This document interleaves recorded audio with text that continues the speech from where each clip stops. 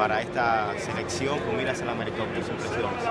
Hola, buenas tardes. Bueno, la verdad que primer día de entrenamientos eh, hemos sido ocho jugadores solamente porque los demás tienen compromiso. Yo creo que poco a poco ya irán integrándose. Y bueno, la verdad que muy bien. El entrenador sé que fue muy conforme, muy conforme pero con, la, con el entrenamiento que hicimos, fue una hora, hora y quince.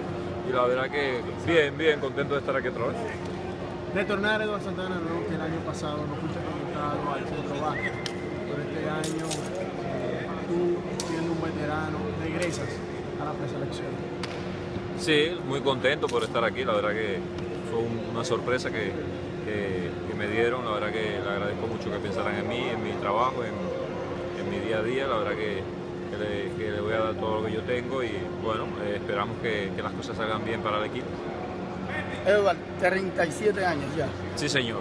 más veterano del equipo. Ya lo sabe. Que te da una responsabilidad extra, aparte de resolver en la cancha, también ser un ejemplo para estos muchachones, un promedio de edad de 26 años, esta preselección. Bueno, la verdad que sí, que yo creo que, mi papel va a ser muy importante en los muchachos, ayudarlos en todo lo que, en todo lo que sea posible y la verdad que, es una edad muy, bonita, todavía yo me siento con ganas y con fuerza de seguir, seguir jugando y, más si me llaman de la selección, la verdad que, espero que las cosas salgan bien y que lleguemos muy lejos en el equipo y que yo ayude bastante.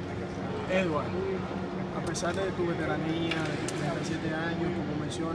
la selección se va renovando poco a poco. ¿Pudiera estar visualizando Edward Santana que esta sea su última convocatoria a la selección? Visualizando no, yo creo que sí que es la última ya. Yo creo que ya es hora que pasen eh, jugadores nuevos que que la selección como otras selecciones se vayan reestructurando, se vayan modificando en cuestión de jugadores. La verdad que estaré muy contento, muy, muy feliz de, que eso pase y de que el equipo llegue súper lejos cuando yo no esté y yo estando también que llegue lejos. La verdad que, que será muy bonito eso. Eduardo, pero hay ventanas. Recordar que ahora el formato cambia.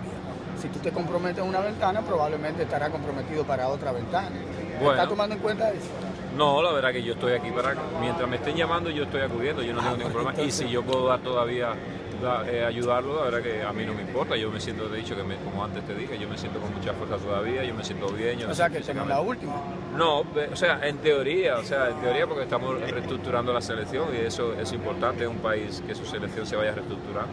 O sea que cuando, por ejemplo, dejen de llamarte, tú no te vas a poner guapo. No, yo no me voy a enfadar, yo me voy a sentir contento porque ya, encontraron otros jugadores que, no que me suplan a mí, pero que te están dando la talla y que, eso es bueno para el baloncesto dominicano, que, que vayan saliendo jugadores importantes. Gracias, a vosotros.